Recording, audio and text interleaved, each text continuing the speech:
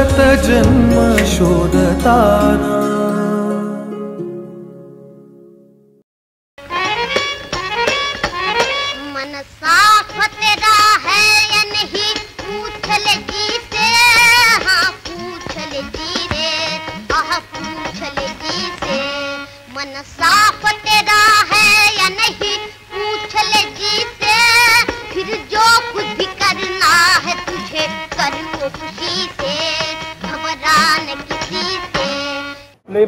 Jackson.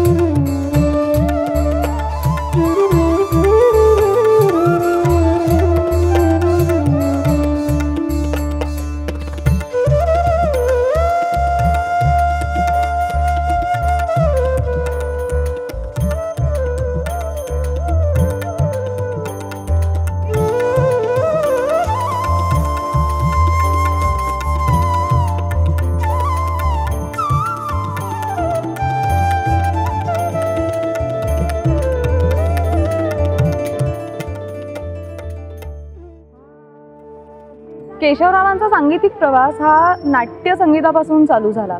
आणि V. शांतारामांनी त्यांचं हेच नाट्य संगीत ऐकूनच त्यांना पहिल्यांदा चित्रपटासाठी विचारलं आणि तिथून त्यांचा प्रभातचा प्रवास चालू झाला. हो बरोबर आहे. म्हणजे आता नाट्यगीताच्या बाबतीत विचार करायचा झाला. तर आता हेच बघ ना. ब्रिजलाला गडे पुरवे हृदयची आस. हो. याला मला वाटतं केशवराव केशवरावांनी जी चाल लावली. त्याच्यातले शब्दांना योग्य असे खटके मुरके हम्म. असे त्यांनी इतके सुंदर पद्धतीने लावले. संत मीराबाईंची रचना आहे. हो हो. आणि त्यामुळे ते सगळं प्रेम भक्ती वैराग्य या सगळ्या गोष्टी त्या चालीमधनं आलेल्या आहेत. हो. आणि जसं त्या शब्दामध्ये म्हणलं की हृदयीची आस तर खरोखर ती हृदयची आस पोचतीये त्या चालीत.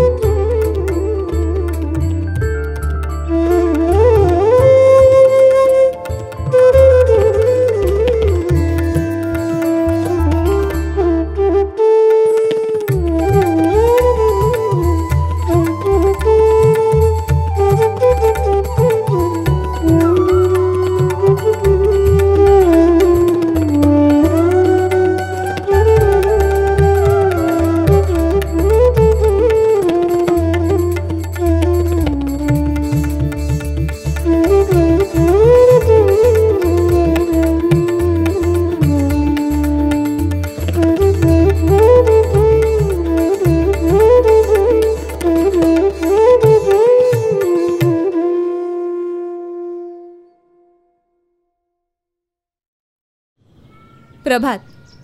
मराठी चित्रपटसृष्टीचा सुवर्णकाळ या काळातच अनेक विविध प्रयोग मराठी चित्रपटसृष्टीत केले गेले. त्यातलेच काही म्हणजे अमृतमंथन किंवा कुंकू संत तुकाराम संत ज्ञानेश्वर. या आणि अशा अनेक चित्रपटांना आपल्या प्रयोगशील संगीतानी अजरामर करणारे संगीतकार म्हणजे केशवराव भोळे. चला तर मग पाहूया केशवरावांचा हा सांगीतिक प्रवास.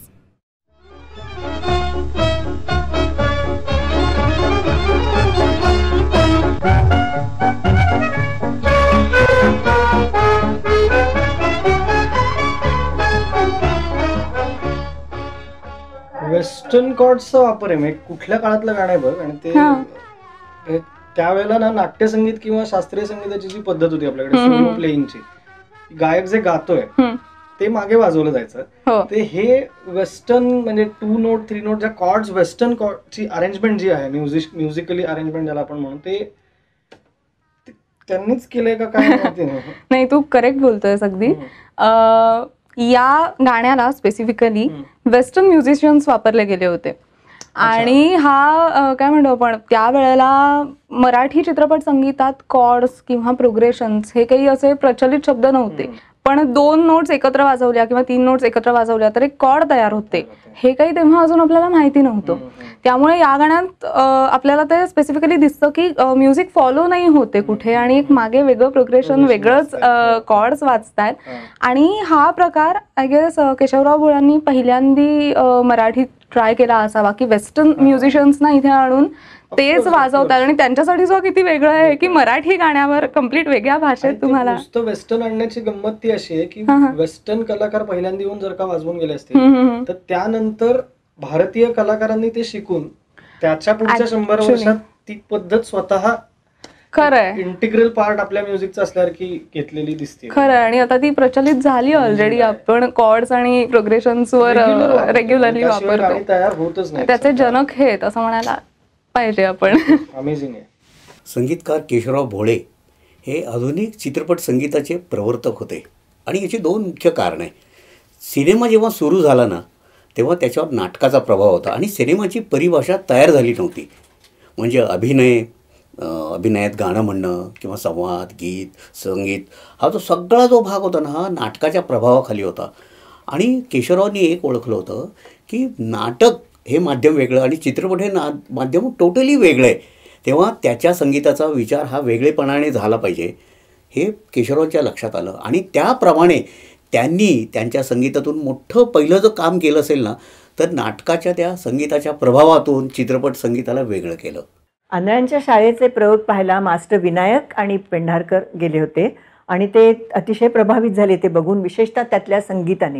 आणि त्यांनी येऊन ताबडतोब ह्यांना सांगितलं अत्यंत मनापासून असं म्हणजे शांताराम बापूंना आवर्जून की त्यातलं संगीत तुम्ही अण्णा ऐका. फार अतिशय उत्तम संगीत आहे. अभिनय तर होतोच आहे सगळ्यांचा चांगला आणि ते नाटक उत्तमच आहे. पण तुम्ही केशवराव भोळ्यांना आपल्या ह्याच्यात दिग्दर्शनाला संगीत दिग्दर्शनाला आणा. तसं पापांना अत्यंत सन्मानाने तिथे प्रभातमध्ये बोलावण्यात आलं. नको जारे खुशाल दर्यावरी जारे खुशाल दर्यावरी जारे खुशाल दर्यावरी जारे खुशाल दर्यावरी. क्या बात आहे. केवढं गोड गाणं आहे ना हे? आणि अं, हे गाणं लिहिलं पण खूप गोड आहे. म्हणजे स्पेशली केशवराव भोळांबद्दल बोलायचं झालं तर त्यांना काव्य वाचनाची खूप आवड होती. त्या वेगवेगळ्या कविता वाचणं आणि त्या कवितांना चाली देणं. सो भावगीत हा जो प्रकार आपण म्हणतो तो मराठी चित्रपटसृष्टीत आणला तो केशवराव भोळ्यांनी. कारण वेगवेगळी काव्य वाचून त्यांना असं वाटायचं की अरे याला या पद्धतीची चाल दिली तर या कविताही लोकांसमोर तेवढ्याच छान बनून येतील. एकोणीसशे वीस ते तीसच्या दशकात मराठी चित्रपटसृष्टीत साधारण ठुमरी किंवा क्लासिकल बेस्ड गाणी ही जास्त होती. आणि तेव्हाच्या लोकांना अजून हे माहिती नव्हतं की आपल्याला अशा वेगळ्या पद्धतीची भावगीतंही ऐकायला मिळणार आहेत पुढे जाऊन. आणि खूप सुंदर गाणी येणार आहेत लोकांसमोर. खऱ्या अर्थाने भावगीतात खूप जास्त प्रयोग केलेले संगीतकार म्हणजे केशवराव घोळे आहेत नक्कीच. माझा मुलगा नावाचा जो चित्रपट होता त्या चित्रपटात सगळी भावगीतं भावगीत वजा गाणी आहेत सगळी. आणि सगळीच्या सगळी गाणी गाजलेली मज फिरू फिरूनी छळशिका पहुरी किती वाट किंवा तेज भ उसळतं तेज भरे गगनात ही अशी जी भावगीत आहेत ना ही त्या काळात खूप गाजली होती. इतकी गाजली होती की एकोणीसशे त्रेपन्न साली आपला अभिनय सम्राट दिलीप कुमार हा त्याच्या शिकस्त या नावाच्या चित्रपटाच्या शूटिंगसाठी प्रभात स्टुडिओत आला होता. तो बापू वाटव्यानं भेटला. तर बापू वाटव्याने त्याला विचारलं की तुम्ही श- प्रभातबद्दल काही तुम्हाला माहिती किंवा? ते म्हणाले अरे काय विचारताय तुम्ही? प्रभातची गाणीसुद्धा मला आठवत आहेत असं म्हणून त्यांनी कुठलं गाणं म्हणून दाखवलं? तर माझा मुलगा मधला जे माझं फिरू फिरूनी मगाशी उल्लेख केला ना ते गाणं त्याने म्हणून दाखवलं तिथे. केशवरावांनी काय केलं आहे संगीत इतकं सुगम केलं की अ मराठी लोकांच्या तोंडी सुद्धा ती गाणी बसलीत. त्यांना असं वाटलं की ह्या ज्या कविता आहेत त्या नुसत्या अशा म्हणण्यासारख्या नाही आहेत ह्याला ताल लय ह्या सगळ्या गोष्टींचं जोड जर मिळाली तर एक काहीतरी वेगळंच तयार होईल. असं डोक्यात घेऊन त्यांनी भावगीत सुरू केलं. म्हणजे त्याला भावगीत हे नावही त्यांचंच आहे. भावगीत हा प्रकार नुसता सुरू करून उत्तम उत्तम कविता निवडून त्याला सुरात ताला छान लईत बसवून त्या गायच्या. एवढंच करून केशवराव थांबले नाहीत. त्यांनी आंधळ्यांच्या शाळेमधलं जे संगीत होतं त्याच्यामध्ये अनंत काणेकरांची तीन भावगीतच घेतली चांदरात या काव्यसंग्रहातली. आणि त्याला इतक्या छान सोप्या सरळ चाली लावल्या. त्यात अजिबात आलापी तानबाजी काहीही करायला वाव नव्हता. प्रसंगापुरतंच गायचं आणि प्रसंग पुढे गेला पाहिजे. हे त्या गाण्याचं मुख्य काम. की तो प्रसंगात त्या त्या प्रसंगातल्या प्रसंगाच्या परिणामकारतेत भर पडून तो पुढे गेला पाहिजे. हे त्याचं उद्दिष्ट आहे. म्हणजे बालगंधर्व किंवा तत्सम ज्या काही आणखीन कंपन्या होत्या त्यामधलं जे संगीत होतं ते संगीत एका बाजूला आणि मध्ये थोडंसं बदलून काहीही न येता एकदम ही उडी म्हणजे भावगीतावर उडी आणि ते सुद्धा नाटकात वापरलेलं. म्हणजे ही मोठी क्रांती झाली.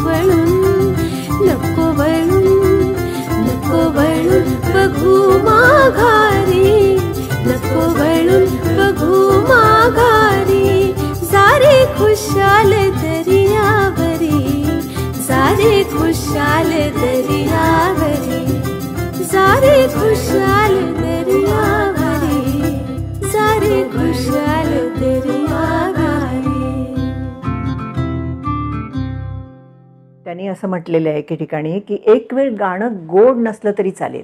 ते असलंच पाहिजे हे काय जरुरीची गोष्ट नाही आहे तो प्रसंग काय आहे? हे बघूनच ते गाणं गाण्याची चाल आली पाहिजे. ते शब्द आणि त्या प्रसंगाला अनुसरून असं समर्पक ते गाणं झालं पाहिजे. आणि एका तर प्रसंगाला कुंकूमधल्या ते भारती सृष्टीचे सौंदर्य खेळे किंवा अशी जी गाणी होती तर त्यात त्यांना एक काहीही सं पार्श्वसंगीत किंवा साथ संगत त्यांनी वापरली नव्हती. तर त्याच्यासाठी ते एक त्या छोट्या मुलीच्या आवाजातलं ते गाणं आहे. तिच्या स्वराचा तांब्या हुडकायला जुन्या बाजारात फिरत होते. ते आणि त्यांचे बरोबरची एक दोन मंडळी त्यांचे कलिग्स वगैरे ते. तो तांब्या त्यांना त्या सुराचा हवा असतो. कारण ती ती अशी नुसती उडी मारते तर तांब्याला तिचा धक्का लागतो. आणि तो जो काय नाद निघतो त्या नादावरती त्यांना ते गाणं करायचं होतं. आणि शांता आपटे अशा बसलेल्या हातात छोटीशी काठी आणि त्याच्या ठेका देऊन तांब्यावरती मग ते गाणं त्याच्यावर घेतलेलं. तर त्यामुळे त्या तांब्याच्या तिच्या स्वराचा तांब्या मिळव मिळ मिळवण्यासाठी त्यांनी प्रयत्नांची शिकस्त केली तो मिळवला आणि तसं ते गाणं रेकॉर्ड झालं. केशवरावांनी कुंकू नावाच्या चित्रपटात पार्श्वसंगीतात जो अजोड आणि अप्रतिम असा जो प्रयोग केला आहे तो आस्तागायत ब जगातल्या कुठल्याही चित्रपट तो झालेला नाही आहे त्यांनी काय केलं? या कुंकूच्या पार्श्वसंगीतासाठी कुठलंही वाद्य वापरलेलं नाही आहे त्यांनी जे नैसर्गिक आवाज असतात त्या नैसर्गिक आवाजांचा वापर केलेला आहे. म्हणजे उदाहरणार्थ कुत्र्याचं बुबू मांजराचं मेव मेव गाईचं हंबरणं किंवा दूधवाला ओरडतो कलईवाला ओरडतो किंवा पावसाची पिरपीर आहे रातकिड्याची किरकिर आहे हे जे सगळे आवाज आहेत ना यांचा त्यांनी अतिशय बेमालूमपणे त्यांच्या पार्श्वसंगीत वापर केला आहे म्हणजे उदाहरण मी सांगतो तुम्हाला त्यात असा एक प्रसंग आहे. की ती जी त्याची नायिका आहे कुंकूमधली नायिका ती तिच्या नवऱ्याची एक आत्या असते. त्यांचं भांडण वजा असं खटकेबाज संवाद दाखवले. तर त्या त्याच्यावेळी मागच्या बाजूला मांजरींचं मेमो घेतले त्यांनी. यांनी उतार वयात लग्न केलेलं ते म्हातार बाबा. तर ते आपले केस कलप करतात. आणि लग्नाच्या पहिल्या रात्री ते आरशासमोर उभं राहून आपल्या कलप केलेल्या मिशीवरनं जेव्हा हात फिरवतात ना तेव्हा बाहेरून एक जण ओरडतो कलईवाला. तर अशा प्रकारचं संगीत आहे. अजून एक गंमत अशी आहे की पुढे एकदा केव्हा तरी शांता आपटे नायिका ही अशी थोडी विचार आईचा फोटो तिला आईची आठवण येते माहेरची आईचं आई गेलेली असते तो फोटो घेऊन अशी ती तिला हुंका येतो आईच्या आठवणीने. तर गंमत अशी आहे त्यावेळी त्यांनी मागच्या बाजूला बॅकग्राऊंडला गाईचं हंबरणं घेतलं आहे म्हणजे असे वेगळे प्रयोग केले. एखाद्या कलाकाराने आपल्या कलाकृतीत किती पर्टिक्युलर असावं याचं एक मूर्तिमंत उदाहरण म्हणजे केशवराव भोळे. प्रभाच्या काळात चित्रपटांच्या सुद्धा तालमी व्हायच्या. म्हणजे जशा आत्ता नाटकाच्या तालमी होतात तशा चित्रपटांच्या तालमी व्हायच्या. आणि त्यातलाच एक किस्सा आहे तो संत ज्ञानेश्वर चित्रपटाचा आणि हरी आला रे या गाण्याचा. आपण जर का हरी आला रे हे गाणं पाहिलं तर त्याच्यात आपल्याला शंभरच्या वर लोक दिसतात. तर तेव्हा केशवराव भोळे म्हणाले की जर का इतके लोक आहेत तर तेवढेच त्यांचे आवाजही पाहिजेत तेवढाच कोरसही पाहिजे. म्हणून त्यांनी या सगळ्या शंभर लोकांना बोलवून घेतलं त्यांच्याकडून तालीम करून घेतली कोरसची. काही पखवाजवादकही होते त्याच्यात. आणि या सगळ्यांना बोलवून फायनली त्यांनी हे गाणं शूट केलं. ज्या गाण्यात आपल्याला इतके लोक दिसतात आणि त्याच्याबरोबर तेवढाच आवाजही ऐकू येतो आणि मला वाटतं की हे त्यांचं क्रेडिट होतं की त्यांना त्यावेळेला ही इतकी सुंदर आयडिया सुचली आणि त्यांनी ती तशीच्या तशी पडद्यावर उतरवली.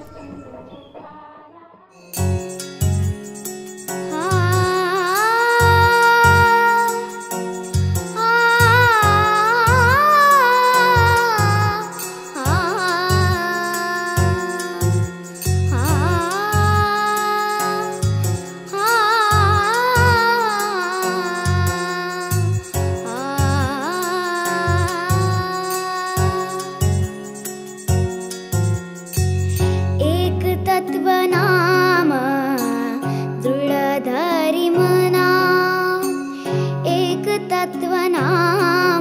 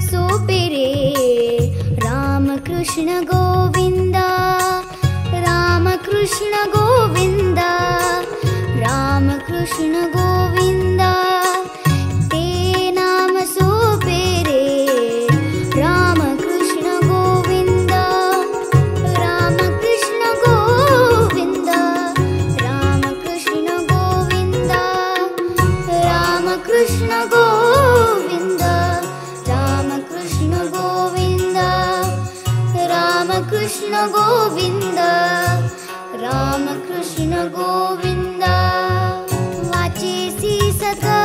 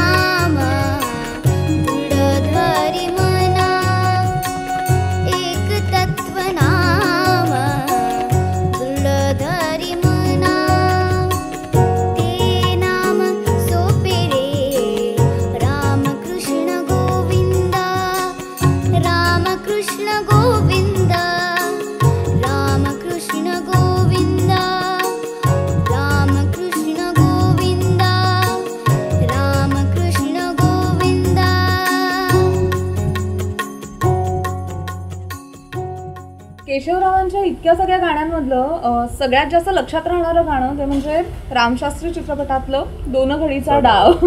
मला तरी खूप म्हणजे आवडतंच ते गाणं. हो खरंच आहे. आणि या गाण्याची खासियत अशी आहे की दोन लहान मुलांवर हे चित्रित केलेलं हो. आहे ज्यांचं ज्यांचा बालविवाह झालेला आहे. आणि सागर गोटे खेळता खेळता हे संपूर्ण गाणं चित्रित केलेलं आहे. दोन घडीचा डाव. आणि ह्या गाण्याची आणखीन एक खासियत अशी आहे. की ह्या गाण्यात जो गोडवा आहे तो कुठल्याही वयोगटातल्या माणसाला भावतो आणि त्याला हे गाणं आपलंसं वाटतं. अ, नृत्य नाट्य चित्र अभिनय काव्य या सगळ्याच अनुषंगाने हे गाणं फार मनाला भिडतं असं. त्यांनी कुंकू चित्रपटात एक इंग्लिश गाणं नायिकेच्या तोंडी दाखवलं आहे ते द- गाणं दा तसं दाखवायचं कारण असं आहे नायिका ही सुशिक्षि सुशिक्षित आहे. ती पदवीधर आहे. ती इंग्लिश चांगलं जाणते. मग हे दाखवायचं कसं? संवादात तर इंग्लिश आपल्याला इंग्लिश संवाद टाकता येत नाही कारण बाकीचे सगळी घरची मंडळी साधी आहेत मग तिच्या तोंडी फावल्या वेळात त्यांनी लॉंगफेलचं जे गाणं गाजलं होतं कविता साम ऑफ लाईफ ते जे साम ऑफ लाईफ आहे ते तिच्या तोंडी त्यांनी टाकलंय. असा प्रयोग भारतात पहिल्यांदाच झाला होता. या गाण्याचा ना एक अं, खूप जुना किस्सा मी ऐकला होता की केशवराव जेव्हा हे गाणं रेकॉर्ड करणार होते तेव्हा त्यांचा जो नेहमीचा तबलावादक आहे तर तो काही कारणाने येऊ शकत नव्हता. आणि गाणं तर तसंच त्यांना रेकॉर्ड करायचं होतं त्यावेळेला. शेवटी ते त्यांनी सगळीकडे जाऊन शोधलं. अक्षरशः शेवटी ते तमाशाच्या फडात गेले शोधण्यासाठी. आणि त्यांना एक व्यक्ती मिळाली अब्दुल करीम नावाची. आणि त्यांनी त्याला आणलं फायनली त्यांनी वाजवलं या गाण्यासाठी. आणि त्यांनी इतका अफलातून तबला वाजवला या गाण्यात की मला लोक नंतर येऊन विचारत होते की "हो, कोण आहे हा माणूस नवीन ज्यांनी यात तबला वाजवला आहे सो केशवरावांनी अशा अनेक नवोदित कलाकारांना किंवा काय म्हणतो आपण शोधून शोधून लोकांना त्यांनी आणलं आणि त्यांनी चित्रपटसृष्टीला अशी अनेक रत्न दिली. दोन घडीचा डाव दोन घडीचा डाव.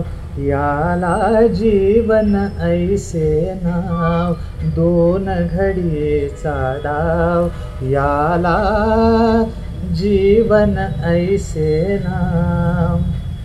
जगताचे हे सुरेख अंगण. जगताचे हे सुरेख अंगण. खेळ खेळूया सारे आपण. खेळ खेळूया सारे आपण. रंग आणखी राव खेळूया रंग आणखी राव याला जीवन ऐसे नाव. दोन घडीचा डाव याला जीवन ऐसे नाव. माळ यशाची हासत घालू माळ यशाची हासत घालू हासत हासत तसेच झेलू पराजयाचे घाव झेलूया पराजयाचे घाव याला जीवन ऐसे नाव. याला याला जीवन ऐसे नाव दोन घडीचा डाव दोन घडीचा डाव याला जीवन ऐसे ना क्या बात आहे क्या बात आहे. ते मेहनती होते अभ्यासू होते आणि सगळ्यात महत्त्वाचं म्हणजे प्रयोगशील होते. पूर्वी चित्रपटात पार्श्वसंगीत हे वेगळ्या पद्धतीने यायचं. म्हणजे काय यायचं? की त्या चित्रपटातली जी गाणी असायची त्याच्या धून वेगळ्या वाद्यांवर वाजवल्या जायचे असं पार्श्वसंगीत होतं. पण केशवरावांनी अमृत मंथनपासून प्रसंगानुरूप त्याला वेगवेगळं संगीताचे तुकडे देऊन असं पार्श्वसंगीत भारतात केवळ प्रभातमध्येच नाही तर भारतात केशवरावांनी अमृत मंथन हा पहिला चित्रपट आहे की ज्यापासून पार्श्वसंगीत हे सुरू झालं आहे हे ते संत तुकाराम मधलं गाणं होतं वृक्षवल्ली आम्हा सोयरे आणि या गाण्याच्या वेळेला विष्णुपंत फडणवीसांना खूप रिटेक द्यावे लागत होते. म्हणजे एक स्पेसिफिक कुठली तरी जागा होती की जी त्यांना काही केल्या तशीच्या तशी येत नव्हती. विष्णू केशवराव भोळ्यांना जशी हवी होती तशी ती येत नव्हती. आणि ते परत परत प्रयत्न करत होते पण ती काही केल्या तशी आली नाही. प्लेबॅक नव्हताच ना तेव्हा. हा. त्यामुळे ते अजूनच गडबड झाली असणार आहे की जे आहे ते सेट वरती म्हणजे गायकाने गायचंय बऱ्याचदा ते गायक नटच असायचे हो हार्मोनियम किंवा तबला कुठेतरी सेटमध्ये लपून. झाडात वगैरे लपलेले आणि. ते रेकॉर्ड करणार आणि सगळे मग त्याच्यावरती अभिनय करायचे त्याच्यामुळे त्या रिटेक्सनी बाकी सगळे हैराण झाले असणार आहेत एवढं तर नक्कीच. पण केशवराव भोळ्यांनी तेव्हा एक खूप मस्त आयडिया काढली होती. ते म्हणाले की ही जी एक स्पेसिफिक ओळ आहे दोन ज्या ओळी आहेत त्या आपण नंतर रेकॉर्ड करूयात का की म्हणजे आत्ता नको करायला त्या आपण. नंतर रेकॉर्ड करूया आणि त्या लावूया या वेळेला. तर मग नंतर त्यांनी असा विचार केला पण मग नंतर रेकॉर्ड करण्यापेक्षा आपण त्या आधीच रेकॉर्ड करूया. म्हणजे गायकाला सुद्धा त्याच्यावर अभिनय करणं जास्त सोपं पडेल. आणि पार्श्वसंगीत जे आपण किंवा पार्श्वगायन हे या पिक्चरमध्ये पहिल्यांदा आपल्याला मराठीत पाहायला मिळालं. केशवराव भोळे आणि संत तुकाराम. संत तुकाराम हा. आणि तिथनं ती आयडिया काय म्हणतो आपण आली की आता पार्श्व गाय- गायन सुरू करावं आणि आधी गाणी रेकॉर्ड व्हायला लागली आणि मग नंतर त्याच्यावर अभिनय केला जाऊ लागला. संत तुकाराम चित्रपटासाठी शांताराम आठवलेंनी एक गीत तयार केलं. ते गीत केशवरावांना खूप आवडलं. त्याला चालही छान बांधली. पण हे गीत जेव्हा त्यांनी दामले फतेलाल यांच्यासमोर दाखवलं तेव्हा त्यांना ते फारसं नाही आवडलं. आणि शांताराम आठवले म्हणाले नाही केशवराव बहुतेक हे गीत नाही होऊ शकत. दामले फतेलांना नाही आवडलेलं. तर केशवरावांचं एक संगीतकारापेक्षाही वेगळेपण असं आहे की या गीतामध्ये तुम्हाला जे हवं आहे या चित्रपटात त्यापेक्षा खूप काही आहे आणि हे गाणं खूप हिट होईल हे फार चांगलं होईल. हे केशवरावांनी पटवून दिलं. आणि जेव्हा त्यांना ते ऐकवलं चालीसह ऐकवलं तेव्हा त्या सुरांची मोहिनी आणि त्या एकूण शब्दाची मोहिनी इतकी छान होती की शांताराम बापूंनी विष्णुपंत पागनेसांना बोलून त्याची तालीमच सुरू केली. नाही म्हणले हे घ्यायचंच काही झालं तरी घ्यायचं गाणं. आणि ते त्या शेतामध्ये तुकोबा असे राखणीला बसले आहेत आणि ते ते गीत गात आहेत. ते गाणं त्यानंतर इतकं गाजलं इतकं गाजलं की पांगारकरांच्यासारखे संत साहित्याचे मोठमोठे अभ्यासक गाथा सारखी चढायला लागले की आपल्याला हा भंग कसा नाही सापडला अजून? आत्तापर्यंत नाही सापडला.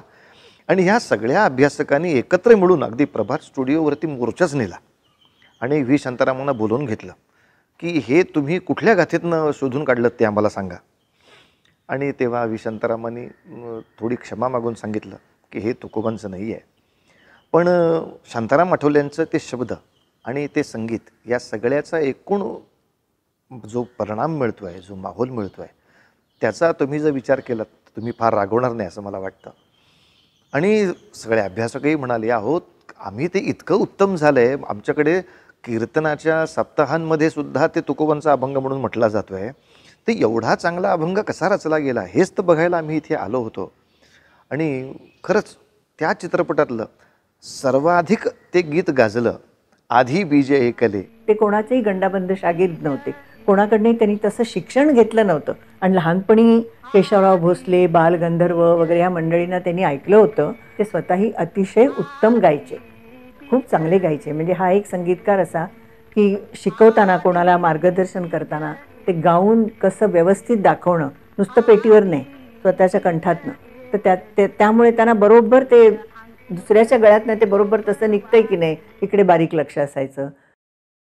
पांडुरंगा ज्याप्रमाणे एका बीजापासून ही सारी सृष्टी निर्माण होते तसंच तू स्वतःपासून हे सार विश्व निर्माण करतोस आणि विश्वाच्या आदी अंती तूच राहतोस. आधी बीज एकले आधी बीज एकले आधी बीज एकले आधी बीज एकले बीज अंकुरले रूप वाढले बीज अंकुरले रूप वाढले आधी बीज एकले आधी बीज एकले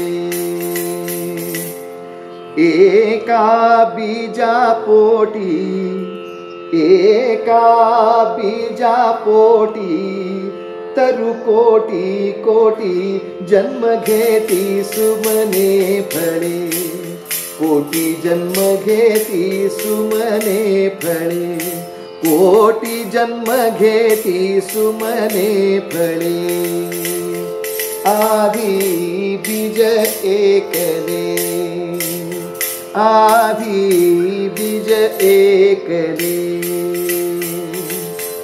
व्यापुनी जगता तू ही अनंता व्यापुनी जगता तू ही अनंता व्यापुनी जगता तू ही अनंता.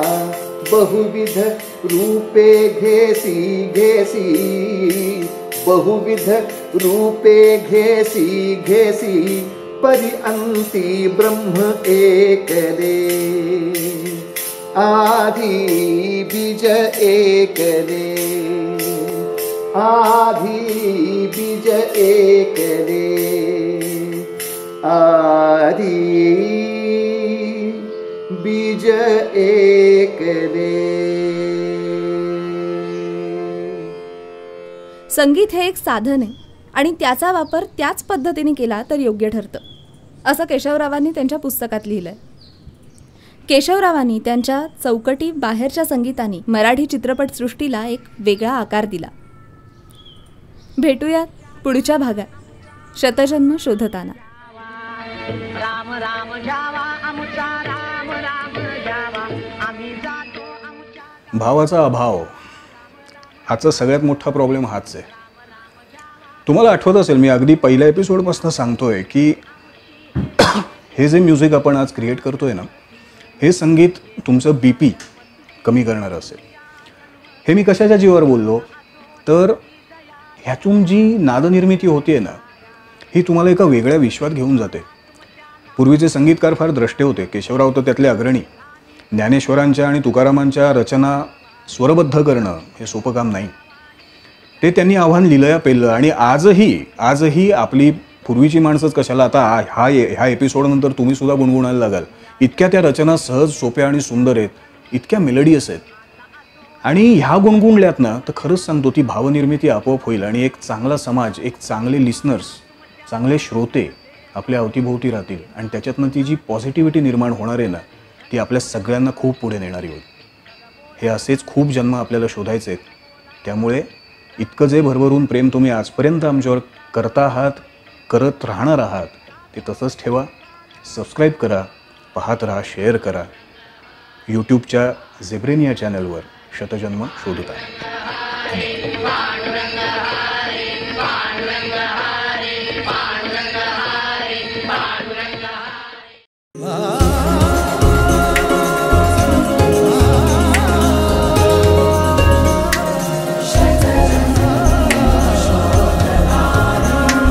शतजन्म शोधताना